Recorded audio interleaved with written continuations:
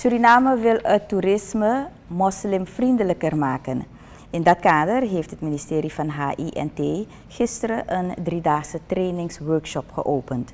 Het doel is om te komen tot moslimvriendelijker toerisme in Suriname en Guyana.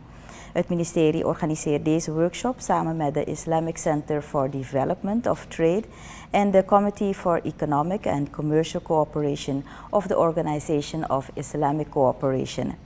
De Maleisische inleider Bin Hassim heeft een presentatie gehouden over de ontwikkeling en het promoten van producten en diensten in lidstaten, aangesloten bij de Organisatie voor Islamitische Coöperatie, OIC.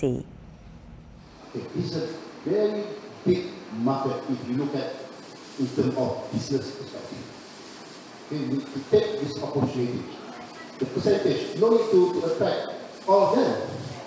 10 billion, we just maybe a small country like this, to attract 10 billion people. It's quite ambitious, isn't it?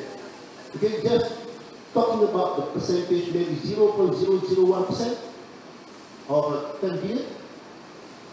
Okay, rule of thumb, like uh, someone, uh, maybe we are um, um, in the e-commerce business, okay, we are attracting more clients, more um, uh, buyers, but the rule of thumb is at 10% of total population. Is your potential client potential buyer. Hassim zegt dat een van de doelen van deze workshop is het vergroten van de capaciteitsversterking van Suriname en Guyana in een moslimvriendelijke toerisme-atmosfeer. But the most important thing is the, the middle, the golden globe, the golden, uh, what you call that, is a tourist attraction. Okay? For, you to develop the Muslim friendly tourism or any tourism, you need to identify and develop the tourist attraction. How to attract tourists to come here if you don't have anything to share? Okay, when I'm uh, yesterday when we are in the city, I found that you have uh, very interesting architectural buildings. Uh, for me, I think maybe it is a historical building? For how many years? Maybe 200 years, more than 100 years.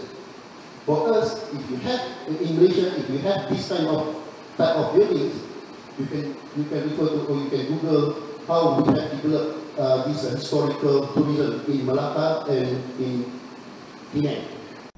Tot zover Bin Hassim, inleider tijdens de trainingsworkshop georganiseerd door het ministerie van HINT. De driedaagse workshop wordt gehouden in het KKF-gebouw en wordt morgen afgesloten.